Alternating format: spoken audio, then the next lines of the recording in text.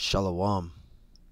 Shalom. Before I start, I want to give all honors and glories and praises to Yahweh, Bahashem, Yahweh Shai, Bahashem, Waha, Waka, Kodash, Yahweh, which is the one true name of the Heavenly Father, Yahweh Shai, who the world ignorantly calls Jesus Christ, but his one and only true name is Yahweh Shai. Bahashem, meaning coming in the name. Ba means coming in. Ha means the. Sham means name. Raka means holy. Kodash meaning spirit. Double honors to the elders and the apostles and bishops of Great Millstone who will well and teach well, because those are the men who I learned this truth from through the spirit and power of Yahweh Bahashem Yahweh Shai. Peace, blessings, salutations to the hopeful elect, and shalom to you sincere brothers that are scattered abroad, pushing forth this word in truth and sincerity. And shalom to you sincere sisters that's listening in silence as the scriptures command you to do so. I am the brother Mashiach Arazakah from the servants of Yahweh Yahweh Shai Camp, Las Vegas, Nevada branch and pretty much in this lesson it's going to be titled as long suffering equals salvation. Okay? Long suffering equals salvation right? Or equals patience. Patience equals long suffering. However one of those two. But the reason why i titled this lesson as this is because we got to be reminded that there's going to be hardships that's going to come our way as we live our daily lives. So you may be a brother that came into the truth and you know you went through things, but you didn't go through things as heavier as it gets when you come into the truth. You know, you may be a brother that probably may not went through nothing. But then when you came to the truth and you started, you know, being longer in your journey in this truth, things start falling apart things start going left, crazy things just start happening out of the norm, you know. You wind up having a you had a good relationship for a while and then it just went left and then your your your woman, right, that you spent 10 years, 12 years, 13 years with, she winds up leaving you. Well, all of these things that you're experiencing, the finances, right, the the mental attacks, you know, all of these different things you brothers and sisters is going through, well, that's all within long suffering. That's all with temptation. Because the Lord, He has to try you as an Israelite, and mainly you Israelite men. The Lord has to try you to test you on your faith because you're claiming to be a man of the Lord. You're claiming to be a man to do his will, right? You claiming to be a servant of the Lord. You're doing the works, right? You're bound abounding in the works of the Lord daily, right? You, you're you're showing yourself to be this man of the Lord, and the Lord is pleased with that. He's pleased with that. The Lord is very grateful with that. But now He has to see if you're still going to glorify Him. If He puts you through different situations, or He allows you to go through different situations. He'll send Satan after you to try you to see if you're still going to dwell in his truth or not or glorify him or not. Cuz just like it's like uh, what my coach used to say we used to be on the track team. He used to say um, cuz everybody be like, "I'm fast. I'm the fastest guy on the track team." Or they'll say, "Well, when I get out there, I'm dusting everybody." I'm about to run a 10 I'm about to run a 10.89. I'm about to run a 10 10.95. And my coach used to look at our teammates that used to be doing all that bragging. I've been running track since I was a kid. And he used to say, talk is cheap, action is what matters.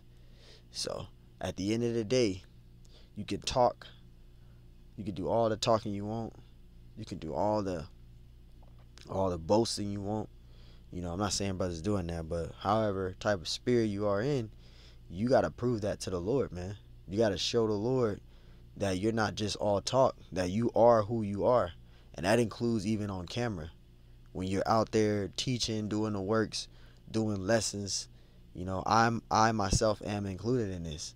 You know, it's easy to, you know, give double honors, you know, give all praise to Yahweh Shema Shai, teaching breakdowns, doing all this other stuff, you know, reading scriptures and doing all that. But are you are you really that person who you claiming to be? Are you willing to take these afflictions and still be able to move forward with them? And that's what I'm experiencing, and that's what you know I've been feeling these past couple of days after my situation. Sirach 2 and 1, it says, My son, if thou come to serve the Lord, prepare thy soul for temptation, your soul for temptation. So you got to be prepared, and temptation comes unexpectedly. It comes unexpectedly. You can get into a car accident, right? You can something could come up, something can happen.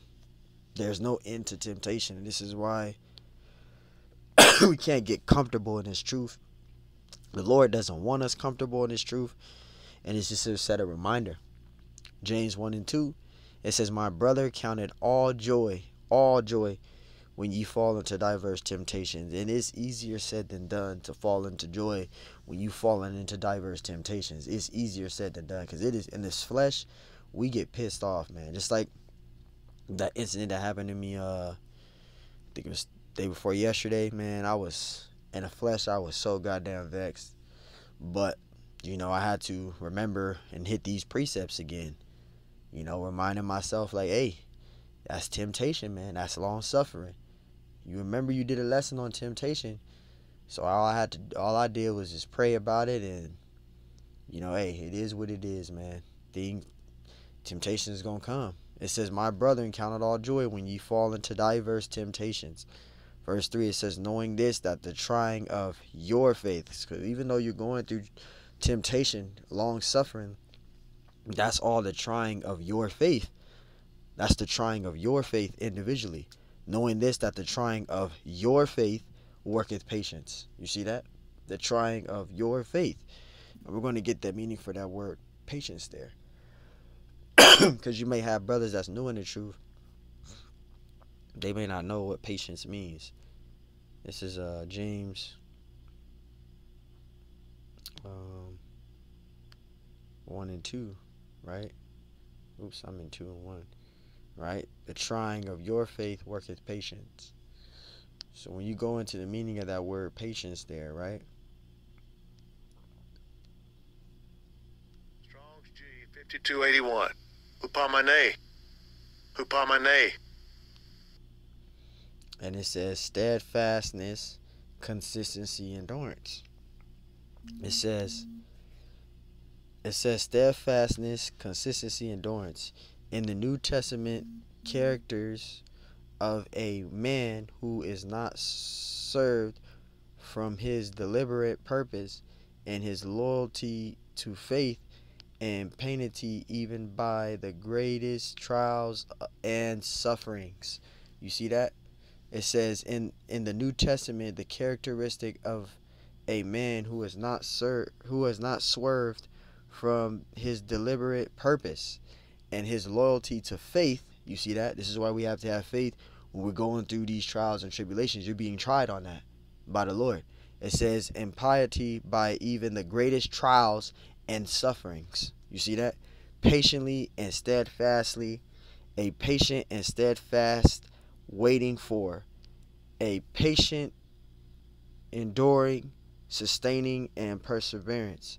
You see that? So that word patience goes into upamane, which means steadfastness, consistency, and endurance. So you got to endure through these things, and it's it's it's easier said than done, right? It's very easier said than done, especially the finance demon. You know, you're going through finances, you're short on your bills, you know, you're you're short on your car note, you're short on this, you're short on that. You working 40 hours a week, and how are you short? It's crazy. You work 40 hours a week, you know, some brothers making between $1,300 and you're short. That is crazy, man. The inflation of these damn um, insurances on your car note. you know, uh, insurance. I mean, insurance on your uh, car. You know, your car note, your insurance, be like damn near three, four hundred dollars. That's damn near paying as much as you pay for your damn car. You know, payments on your car for your car note. the inflation is is is causing havoc amongst the people. You know, and it puts us heavier on a, oppressed on a heavier scale. You know, it says knowing this that the trying of your face work in patience. It's actually I'll just get it from here. Well, I can get it from there. It is what it is. Salakia. It says, but let patience. It says, let patience have her perfection work, that ye may be perfect and entire, wanting nothing. Verse five. It says, if any, it says, if any of you lack wisdom, let him ask of the Most High, that giveth to all men liberty, upbraideth not, and it shall be given to him.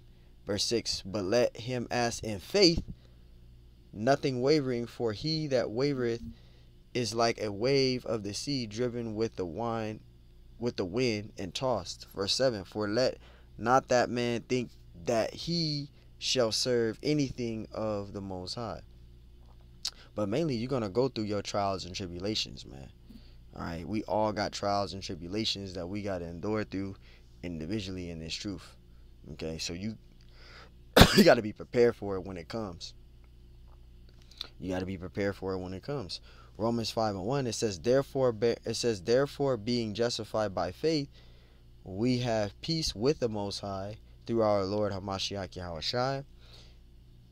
And it says verse 2 it says by whom also we have access we have access by faith into this into this grace wherein we stand and rejoice in hope of the glory of the most high. And that's what we do. We're prisoners of hope. We're hoping for salvation. Even though we're going through these uh, sufferings and these afflictions and stuff that we deal with daily in our daily lives romans 5 and 3 it says that not only so but we glory in tribulation also you see that it says that not only so but we but we glory in tribulation also, knowing that tribulation worketh patience. And we went to the meaning of the word patience there. Consistency, endurance, right? Verse uh, verse four it says, and patience ex- and patience experience and patience experience and experience hope. You see that?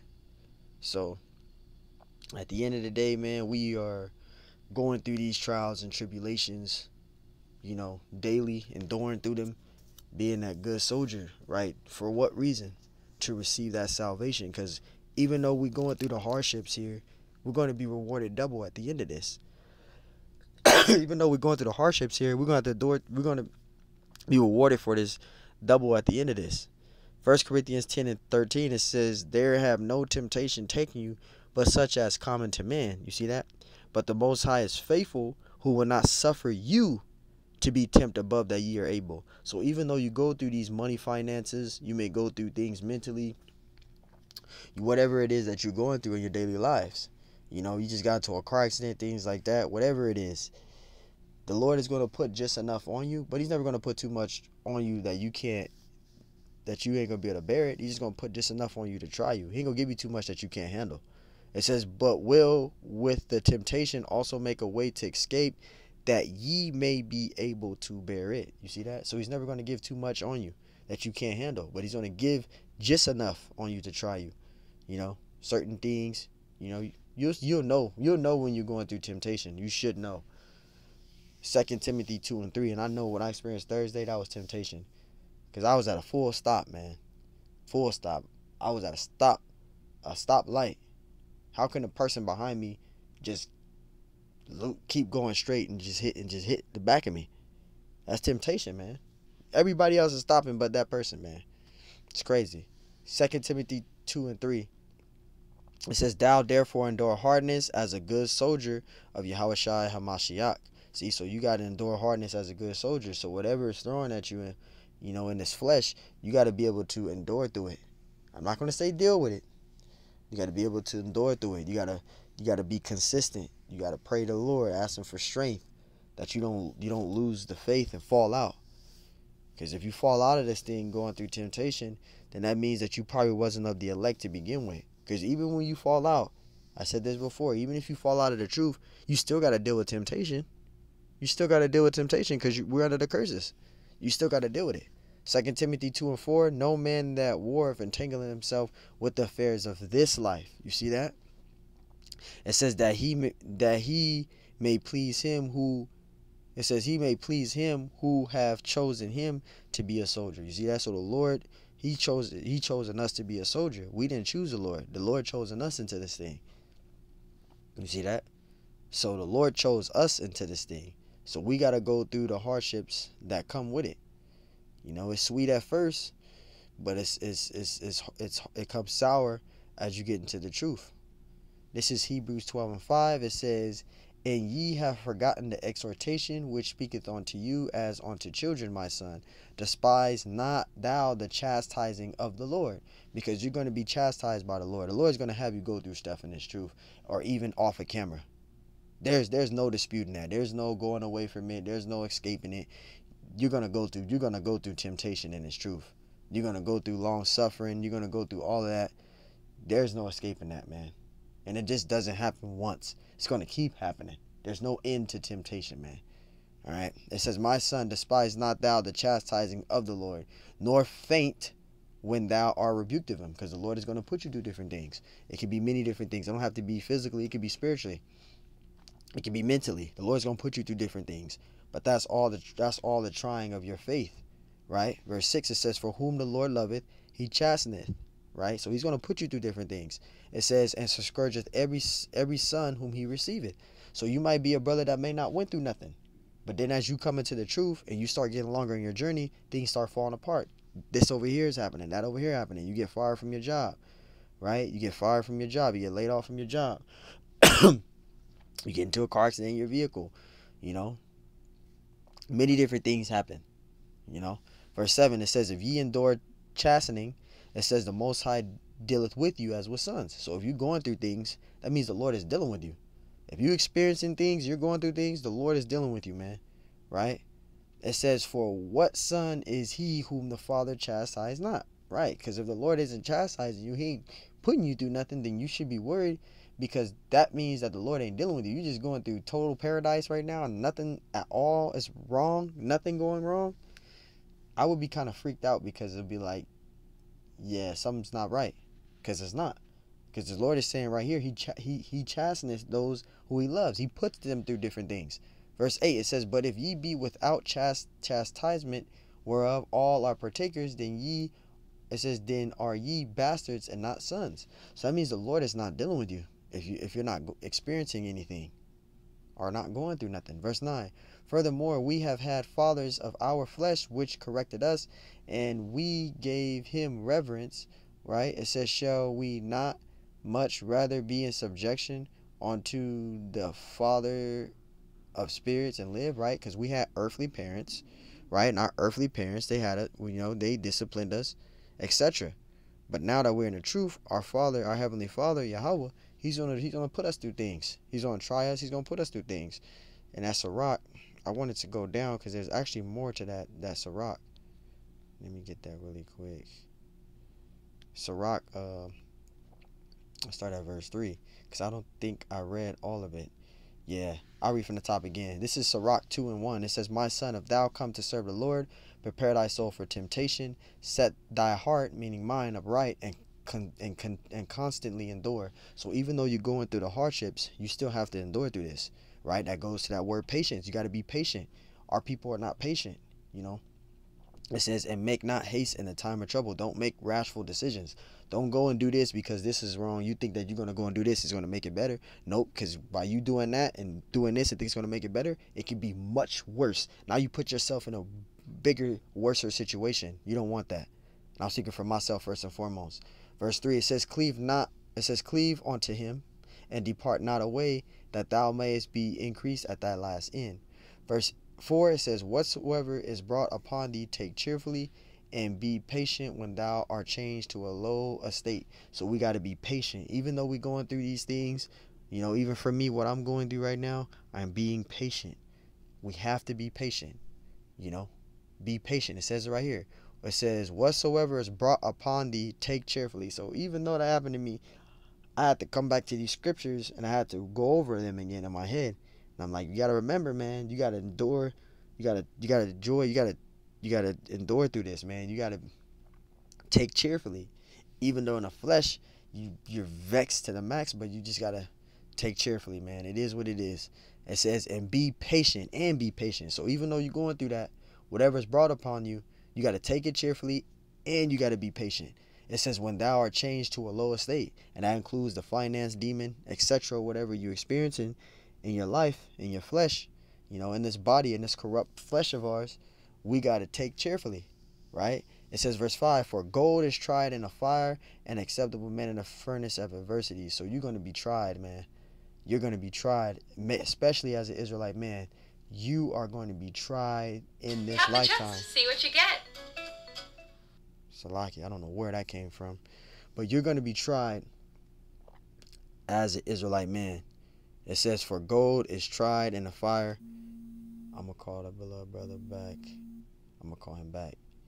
It says, "For gold is tried in the fire, and acceptable men in the furnace of adversity. So you're going to go through different things. All right. Verse 6 it says, Believe in him, and he will help thee. Order thy way upright and trust in him. So you're to go through different things. Okay. You're to go through a lot. You're to go through a lot of different things. All right. You can't get angry or upset. All right. You can't get angry or upset, man. All right. So at the end of this thing, all we can do is pray. All we can do is consistently thank the Lord even when we going through these hardships. I got one more precept I want to add because I didn't ask that. I didn't bring that out. Uh, I think it's uh, Think it's brother. Oops. Hold on. Uh, your brother in um same. Let me see. Cause I was thinking about it, but I didn't put it up there.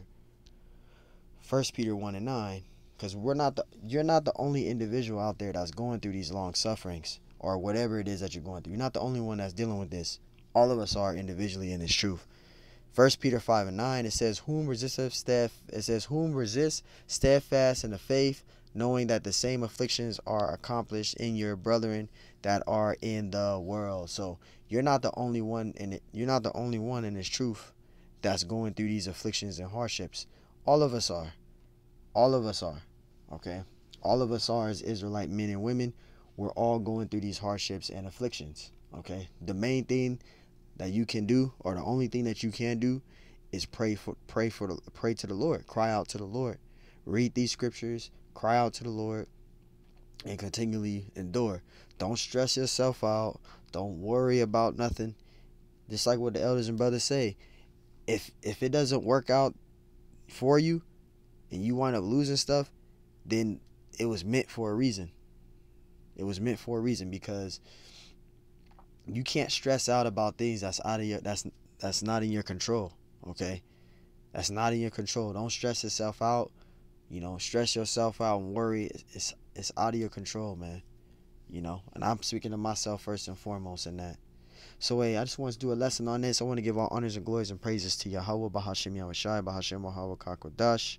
And Lord willing, this lesson was edifying. And shalom to you, sincere brothers, and you sincere sisters, you sincere sisters that's listening to science, our scriptures command you to do so. And double honors to the elders and the apostles and bishops of Great Millstone who will well and teach well. So, hey, Lord willing, this lesson was edifying. On to the next one. Shalom.